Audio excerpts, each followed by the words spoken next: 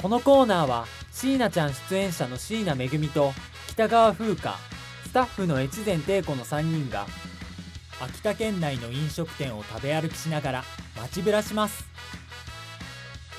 今回は新鮮な魚介類が人気のお店海鮮酒場浜浜にお邪魔します。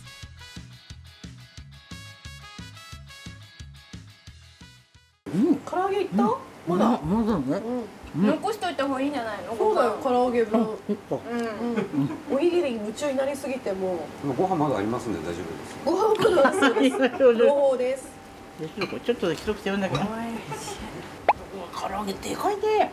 でかいね。すごいね。どうやって食べるんだろう本どうやって食べるんですかね。当ね。マヨネーズやっぱりね好きだもんね。ちょっと発汗して失礼しますね。よし。あ熱くなってきたんだ わかります。まずあの食べるとガーッと一回こう突き刺し型ですかね。ああいいですね。いいですかね絶対落とさない。落とさない。そうそう。そしてマヨネーズ。いいアイデア毎回言ってほしいいいですね。すごいおしゃれですよね。こしっかりれ。ホールドしてますもんね。ああ確かに間違いなくこう。解説してるうわーいやこれ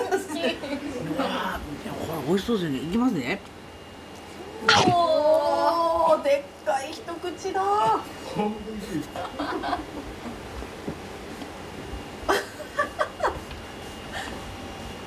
いや喋れないね口がやっぱり人間の口ってやっぱりたくさん入れてもまず ちゃんとねうん。包んでくれるんだねうまい。うん。うん。うん。うん。うん。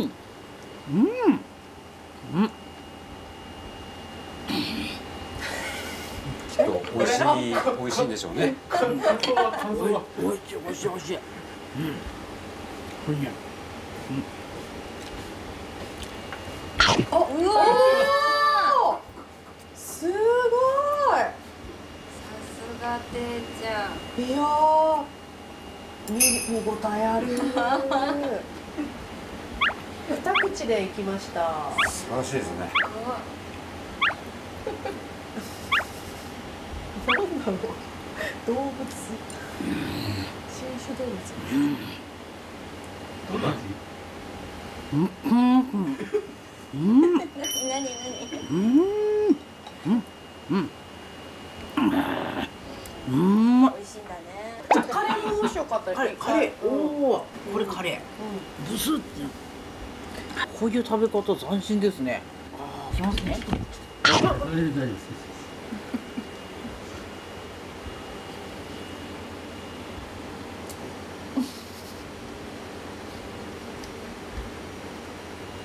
なんだろうこの静かな時間うん。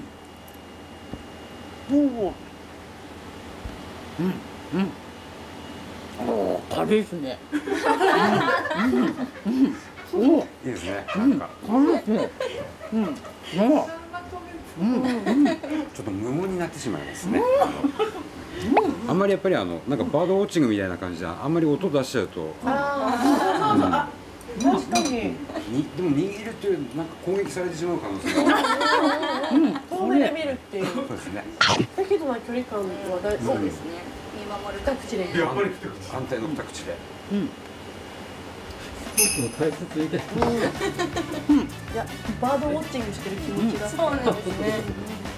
うん。次回も3人が梅物を堪能します